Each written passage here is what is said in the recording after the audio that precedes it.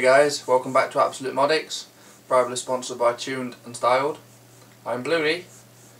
We had a couple of requests from last week. You'd like to know how to put an EGR blanking plate on and why we should put an EGR blanking plate on. So that's this week's episode. You need a 30mm and an EGR blanking plate. We're going to start by removing the two 13mm bolts which are on top of the EGR valve. These hold on the exhaust pipe where all the exhaust gases come back round through the EGR system and go into the inlet manifold. We're going to put the blanking plate directly on top of the exhaust pipe that will stop any exhaust gases coming through into the EGR system.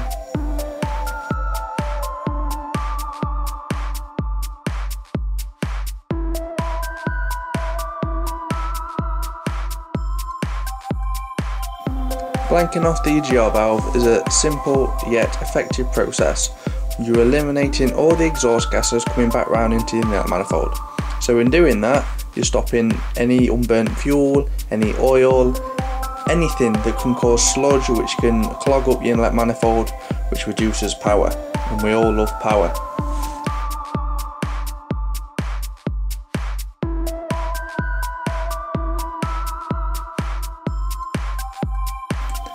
Okay, I'm just attaching the EGR blanking plate on now. I'm, it's very fiddly, just beware not to drop your blanking plate down the back of the engine because I've done this a couple of times and it takes a while to find it back out. Normally it hides in the tray.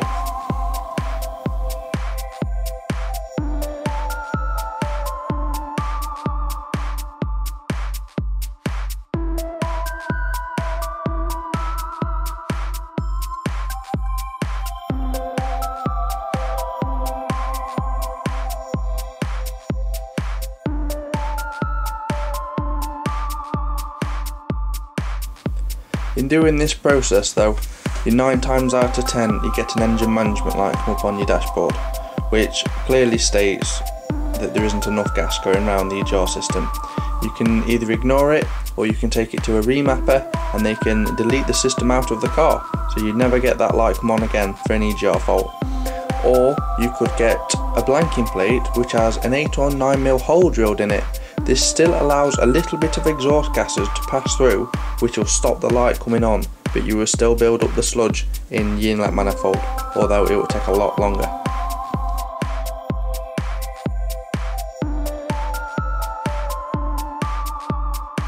Once you've located them it's just a matter of tightening them up so it's nice and tight.